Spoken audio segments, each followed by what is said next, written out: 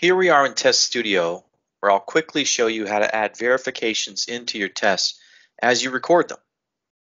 First, we'll start by adding the test to our project from the project menu, and then we can go straight to that tab, click record, provide the URL to the application that we're going to, and choose a browser that we want to record from. This will start up the browser, navigate to that site, and record our navigate step here in Test Studio.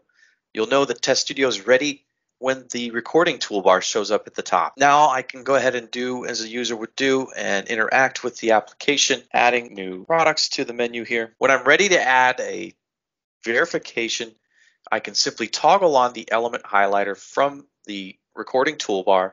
And as you can see, the element highlighter allows us to float over the elements that make up the UI and as we do so, when we pause on an element, you'll see that you can actually choose from some preset quick step options to verify your element's visibility or the content, the text content of the element, whether it's enabled or not. You could even extract text from images if that's your target element.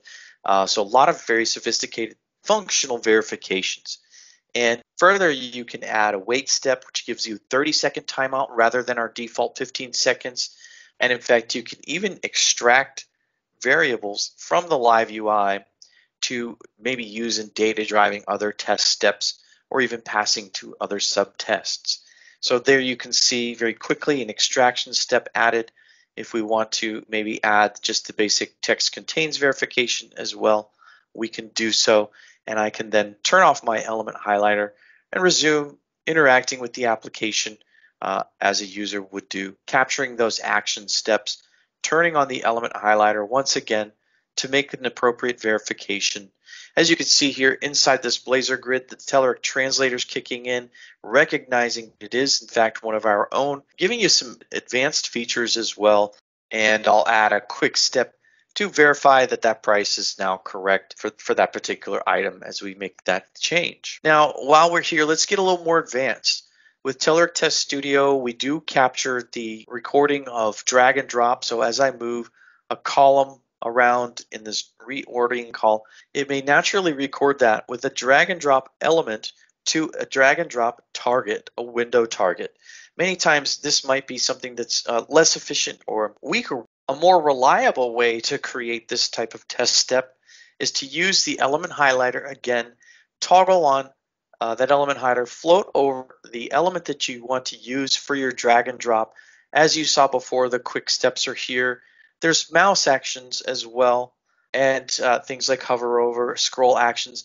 As we go down this list, you get to build step. And this will turn on our advanced recording tools that give you even more capability.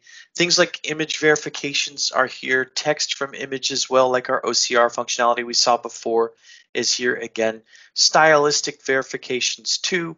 And under our actions menu, you'll notice a drag and drop as well.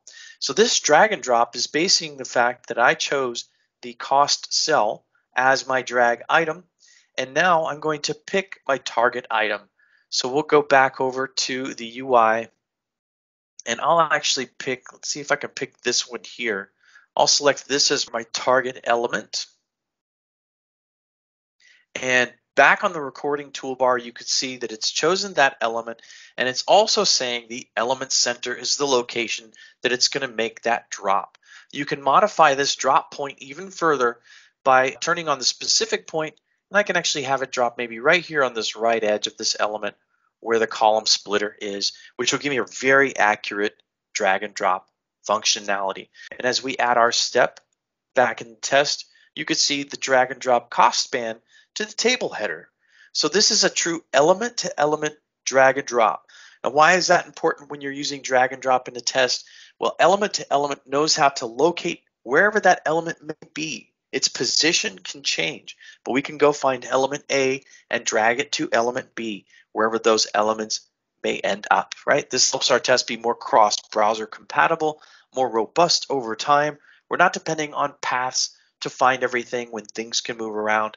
And this is a very advanced type of step that you can add quickly with the Telerik Test Studio advanced toolbar uh, to add your verifications, your advanced verifications. So again, this one here using a window target across an entire screen, uh, but as I showed you with the advanced recording options, you can make a more specific and reliable test that will execute. We'll go ahead and run both of these so you can see how they execute differently in your test, running from here on the fly with our run from here option. Of course, a couple tips, you do want to use full screen usually when you're doing drag and drop recording and execution, of course. And you also want to let go of the mouse when it's performing that action during execution so that you can actually see it doing its job. And as you can see, that executed flawlessly. It took the cost column from where it was, moved it to the first column, easily reordered that for us. And again, as things move or change, it will be able to locate those columns or, or those elements uh, and, and reorder things